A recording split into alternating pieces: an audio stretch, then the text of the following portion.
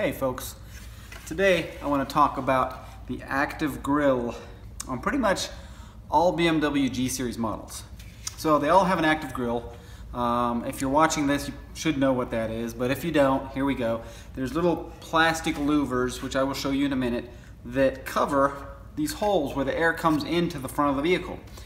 Uh, purpose is keep the vehicle uh, keep the vehicle warmer longer uh, or also uh, in winter times and cold periods, keep the shutters closed, engine heats up quicker, uh, gets to operating temperature much quicker, less emissions, yada yada yada.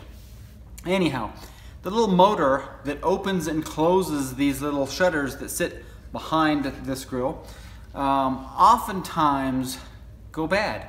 Uh, they go bad so often that BMW actually put out a technical service bulletin on this. Uh, and they've extended the warranty to like 150,000 miles, 10 years, or some, some garbage like that.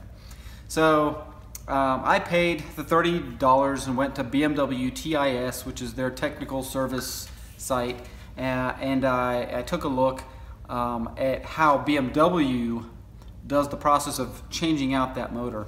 Uh, and it's rather uh, intensive. In this video, uh, for those of you that aren't going to take your car to BMW to have that motor changed out, uh, as myself.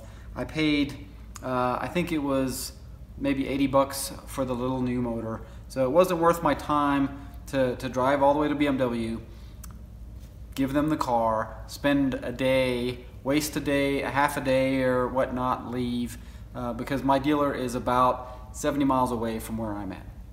So to me, didn't make sense. It was easier to just pay 80 bucks uh, and swap this thing out.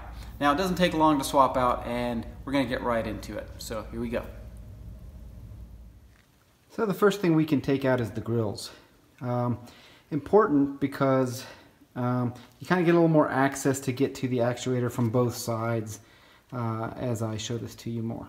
So the way we pop these out is very simple on the G Series. No, no need to take the bumper off.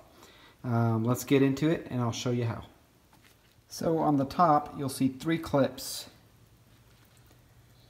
what you'll do is take a, um, a little object like a screwdriver or uh, preferably something plastic to make sure you don't scratch anything. And then you'll take, as you push down, you'll just wedge out lightly and then wedge out lightly and wedge out lightly. And when you do that, it'll look like this. Now all you do is pop it out and there it goes. So the bottom let's take a look, is just clips that just sit straight in there. So they just simply pop out. Uh, it takes a little bit of um, a little bit of uh, gentle force, but uh, don't go breaking things. Uh, it doesn't take a lot of force. All right. Okay, so the first step is going to be removing this plastic piece on both sides. Now you don't have to remove it all the way. This rubber here is clipped. Once you have it off, you can just kind of fold it aside. And as always, make sure to protect your work area to make sure you don't scratch anything. So there's three clips here. One, two, and three. So once you take those three out, this will just fold over and expose the rest of the bolts for the aluminum panel, which will be step two. And with the plastic piece out of the way, you can see the screws that need to come out in addition to what you originally saw. So next step, this fellow right here. So with this piece right here, you'll want to go ahead and take all the bolts out and they're just surrounding the whole bit. Make sure to unclip the cable and just kind of loosely lay it out of the way and that will gain you almost access to your actuator motor for your grill. So once you have the aluminum panel off, this here will need to come off. There's three locations. Uh, this right here just slides up. You'll notice a clip here. You bring it in a little bit and pull up.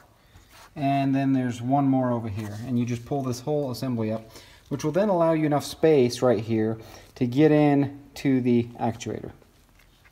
So once you have the top cover off, there's enough space right here uh, if you don't have Brutus arms, you can get your arm, you can bring this back slightly, get your arm in there, and uh, I'll show you uh, how to get in there and uh, basically take the uh, actuator motor out. So as you see here in my uh, in my little endoscope video, uh, I'm just kind of trying to get you a good view. There's two screws that hold this actuator in and a plug. Uh, we'll take a look at the plug in just a moment and once you get the two screws and the plug off then it's almost ready to come out. And to get the plug off you'll need to press in between the casing and the plug and you see that location that I'm indicating right there.